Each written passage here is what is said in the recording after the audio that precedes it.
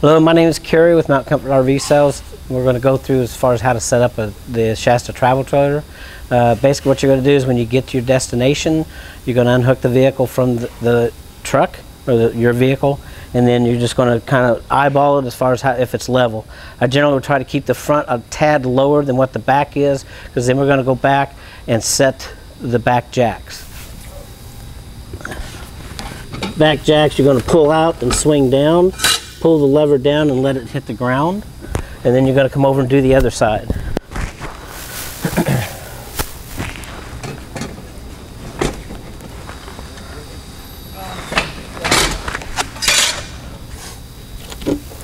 Uh, you got this little cheater bar we can put in here and then that way we can add tension to the jack. And you just, now these are just strictly stabilizers. All you want to do is just put a little pressure onto it so that it helps stabilize the trailer. Then you have to go back to the other side and do the other side. And just put a little pressure and that's all you got to do as far as that goes. All right, we'll leave that there. Now, if you want to, I'd get a little level and put in here, and then we can raise the front in order to level the trailer. And that will put a little bit more pressure onto the back jacks. So now you got the vehicle stabilized. The other thing is, is that before you do this, if you're off from side to side, you want to put boards underneath the tires and then that way you can drive up on the boards to level it from side to side. Then you're going to unhook the vehicle and then just do the back jacks like we just did. All right. Okay, this time you can turn your LP tank on. Uh, this is for your furnace, stoves, refrigerator, and so on. So you can turn those on. Got a front compartment. This is basically underneath the dinette on the inside, so you have access from the inside and the outside as well.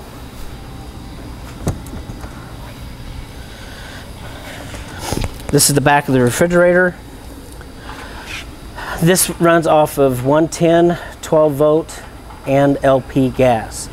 This is a drain tube for the fins inside, so as they do moisture, you get condensation on the fins, they're going to drip into a tray, and then it's going to drip outside. So you want this tube constantly on the outside of the vent door. Okay.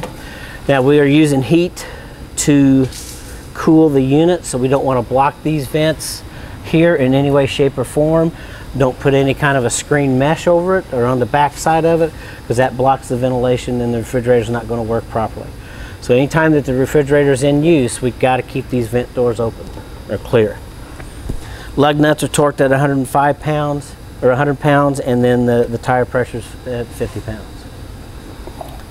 Outside receptacle, so you have 110 receptacles on the outside of the coach if you want to plug in patio lights when you do the awning. This is a vent for the uh, battery which is on the inside of the coach which we'll show you later. And then your tail lights. You have cable satellite hookup. This is an inbound so if you go to a campground and they have satellite hookup or cable hookup, take a piece of coax, hook up to their jack, hook onto this. This will feed the coach from the outside source. Then you have another storage compartment here on the outside. This uh, pretty much goes all the way across the back, other with the exception of the battery. So you got some more storage there. This is the furnace. You have the intake and the exhaust. It all lights from the inside of the trailer. Power cord. The power cord separates from the trailer. So in other words, you'll have to coil it up and then put it in a compartment. But then when you hook it up, it's just what we call a marine cord. You have two terminals here and one with the hook. So just line them up, push it in, and then twist, and then screw the cap locking cap on. And that'll keep the cord onto the trailer. Okay, now your cord, like in this case, we're using an extension cord, but on the end of the cord, it has a little blue light so that you know you got power going to it. Always take the cord, don't leave it coiled up real tight. If you're using an extension cord, just loop it in big loops and then put it up underneath the coat so it's out of the way. Right down here you have your termination valves. So you have a smaller valve which is on the left which says waste, that's your sink and your shower. Sewer outlet, which is on the right, is your toilet, what we call the black water tank. So you're going to twist the cap off, put your sewage hose on, always dump the sewage first. These are nothing more than pull valves. You pull out to open, you push in to close. Do the sewage, close the valve, then do the gray water, that rinses out the tank. Or it rinses out your sewage hose as, the, as well as the tank. Now if you're hooked up, if you have a uh, permanent hookup here at your campsite, leave your sewage valves closed because if you leave the sewage valve open, your liquids go out, but your solids and your paper start stacking at the bottom of the tank. So you want to leave that closed so that you build up enough fluid that when you do dump it, you got enough fluids to dump everything out. But always dump the sewage first, close the valve, then dump the gray water, that rinses out the hose. This is your freshwater tank fill. This is water that you carry with you. So if you're on the road, you can put a little bit of water in there. So if you stop at a rest area, you can use your own facilities. This is your city water hookup. This is direct pressure.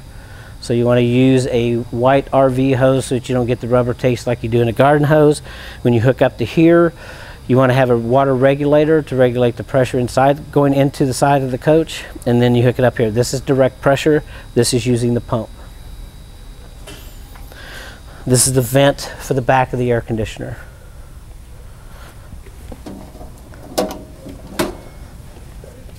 This is your hot water heater.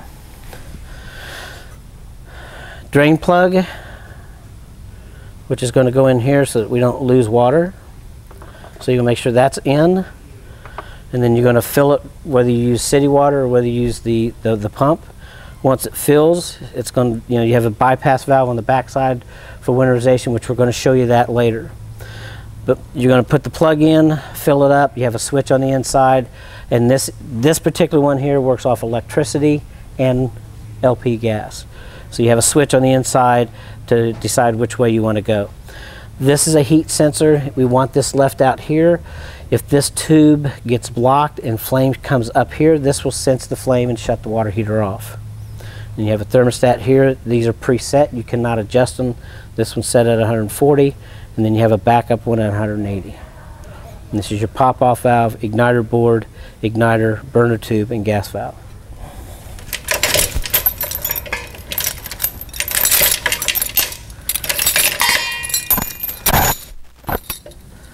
These are safety chains to hook up to the truck when you're hooked up. This is your light cord. This is going to plug into the vehicle. This is going to give you lights and brakes, turn signals. This is a breakaway switch. This you're going to hook up to the vehicle. If this pulls away from this switch, it's going to set the brakes on the trailer. So if we have the, this hooked up to the vehicle and the trailer separates from the vehicle, it will pull the pin and set the brakes on the trailer. Always keep this inside no matter what.